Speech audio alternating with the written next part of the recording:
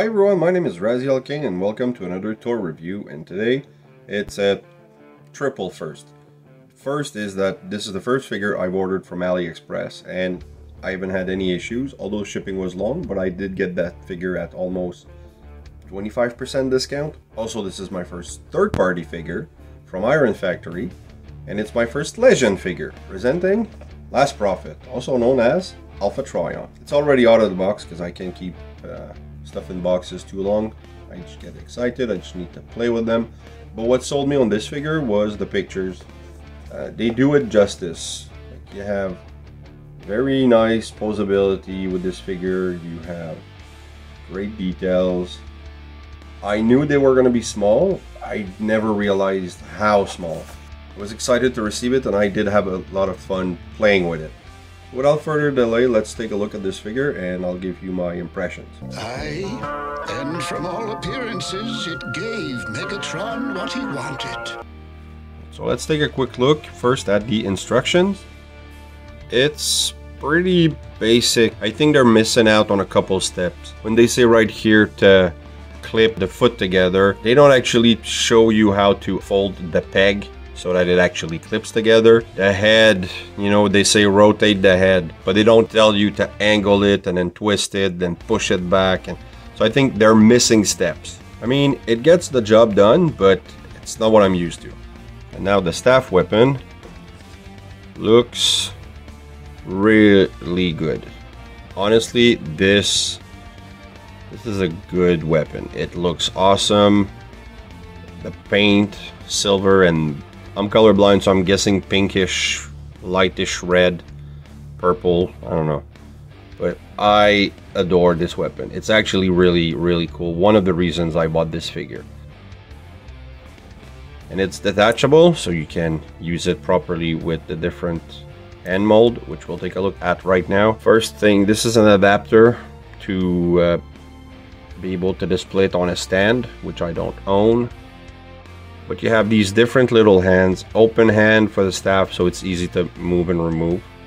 You have one right and one left. Uh, right, where is it? Right here? No, right here. So, very detailed. You have a closed fist. Basically what you do is like this. The fists unplug this and then you slide this in. It's very tight fit. Don't push too hard, but uh, a nice feature. You have two open hand if you want to have him wave goodbye at Optimus Prime. And on the figure itself, you have closed fists for when he's really angry. Let's clear this up. Uh, figure itself is pretty impressive. Honestly, I I can't complain about the details and the molding, the paint, paint application are really good. They added this foot thing, this, I don't know, spike. But if you look at pictures of Alpha Trion in G1, he doesn't have that, so I'm probably going to display him like this, you know, to have a normaler foot. But if you like to have high fashion on your figure, then that's that's the thing for you very nice details. The shoulder, I like, I really like the shoulder. He looks imposing and respectful. You know, you get some wingspan because of transformation, but kind of a big kibble. But there's no gaps, you know, it's covered. There's no waffle, except you know maybe here under the arm. It's not that bad. It's it's the engineering of this thing is actually pretty impressive. So, articulation, you have arm. The, the shoulder piece really does hinder. You can't, you could go around if you moved the kibble. The head could rotate if it wasn't held by his uh, neck guard. Uh, arm goes up to here rotation just under the shoulder, elbow bend, and rotation 360. The leg goes up to here. and would go back a lot more if it wasn't for the kibble. You have a 90 band. And you have good movement on the the foot is on the ball joint so you can angle it forward. There's no not that much of a backward and a bit of ankle tilt. Not bad at all. So overall, I'm impressed with the engineering. Because if you compare it with core class figure, this is on a whole different level. I mean, this ha has some articulation, but it's full of waffles uh, here and the back, and great figure. If you've seen my review on the toy haxing and the short I did, I actually love this figure, you know, because of the nostalgia. This is a figure to love because of the engineering and the, the paint and the molding. It's great. Let's do a couple more comparison. Here he is with Earthrise Prime, Siege Ultra Magnus, and Netflix Bumblebee. Let's do a couple poses. So with different hand, you know, you can hold the staff and ward off evil with the wavy hand, or you can have him angry shooting laser beam from the tip of the staff if you want, or you can have him do his perfect dance move with the jazz hands. Or you can pretend he's been misassembled and he has two right hand. And now for transformation, I suggest using the closed fist because it kind of gets in the way with the other hands. Uh, but let's take a look. First off, what you need to do is raise the shoulder like this. It's on a joint, so you want to put it. And this is what I meant about the head. You have to lift it a little bit, twist it, and then push it back and then it pegs here and there we go not bad of an alt mode but like most Alpha Trion it's an afterthought. You never had a transformation back in the show. Uh, there's no place to put the weapon really unless you want to slot it here and it looks incredibly stupid. But that's not part of the instruction. That's just me playing with the figure. I think there's a lot more gappage and holes and robot parts showing in the alt mode, but the engineering itself is pretty decent.